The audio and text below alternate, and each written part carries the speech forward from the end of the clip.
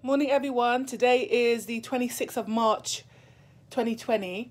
Um, I purchased this bun from a shop in the market, Walthamstow High Street. As you can see, the bun, I purchased this yesterday, which will be the 25th of March 2020. The bun is from Tasty Bakery. It's the West Indian bun, this large spice bun. Um, and I just want to show you what I found in my slice of bun. Um, this is a slice that I cut here. I cut this this morning. Um, as you can see, there's the bite that I took. And unknowingly, if you look here, this is what I spotted when I was about to take another bite. Now, that clearly, I'm not sure if you can see close up, is a cockroach or some type of cockroach insect embedded into my bun.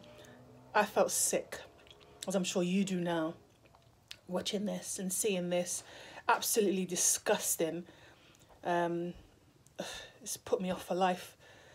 So as you can see, the piece of bun is from Tasty Bakery. So if you're going to the shops and you're going to buy some bun, beware of this particular brand and really beware of any brand that you buy because now you see that it's absolutely disgusting.